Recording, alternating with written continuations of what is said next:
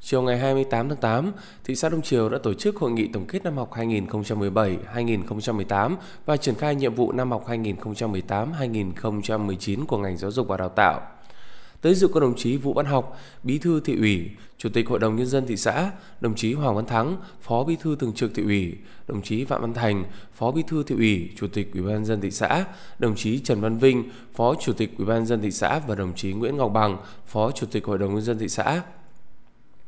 Năm học 2017-2018, toàn thị xã có tổng số 86 trường, 18 cơ sở mầm non tư thục được cấp phép hoạt động và một trung tâm giáo dục nghề nghiệp và giáo dục thường xuyên với trên 38.200 học sinh. Trong năm học, ngành giáo dục và đào tạo thị xã Đông Triều đã tiếp tục tập trung triển khai thực hiện các nhiệm vụ chủ yếu và giải pháp cơ bản theo chỉ thị nhiệm vụ trọng tâm năm học của Bộ Giáo dục và Đào tạo, Sở Giáo dục và Đào tạo, Ủy ban nhân dân thị xã, tiêu biểu là duy trì và nâng cao quy mô mạng lưới cơ sở giáo dục, đảm bảo đáp ứng nhu cầu học tập của con em nhân dân. Chất lượng giáo dục đại trà và giáo dục mũi nhọn tiếp tục phản ánh sự chuyển biến tích cực về chất lượng dạy và học so với các năm học trước.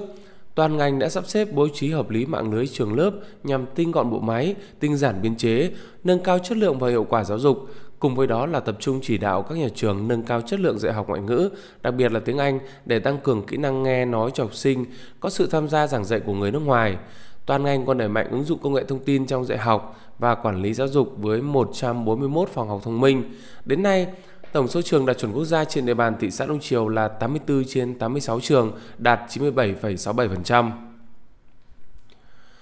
Phát biểu chỉ đạo tại hội nghị, đồng chí Phạm Văn Thành, Phó Bí thư thị ủy, Chủ tịch Ủy ban dân thị xã đã ghi nhận và biểu dương những kết quả mà ngành giáo dục và đào tạo thị xã đã đạt được trong năm học vừa qua. Về nhiệm vụ trọng tâm năm học 2018-2019, đồng chí yêu cầu ngành giáo dục và đào tạo thị xã tiếp tục thực hiện có hiệu quả nghị quyết số 29, nghị quyết Trung ương, Hội nghị Trung ương 8 khóa 11 về đổi mới căn bản toàn diện giáo dục và đào tạo, đáp ứng yêu cầu công nghiệp hóa, hiện đại hóa trong điều kiện kinh tế thị trường định hướng xã hội chủ nghĩa và hội nhập quốc tế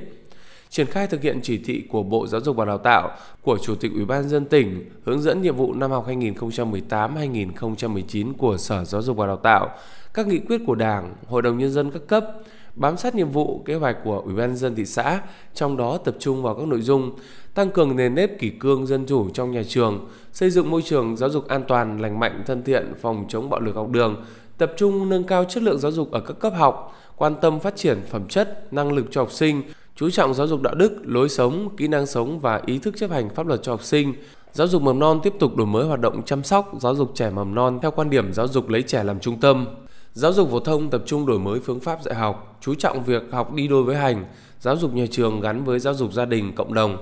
Khắc phục tình trạng dạy thêm, học thêm trái quy định, giáo dục thường xuyên thực hiện đa dạng hóa nội dung, chương trình đào tạo, bồi dưỡng, đáp ứng nhu cầu học tập suốt đời của người dân, góp phần xây dựng xã hội học tập,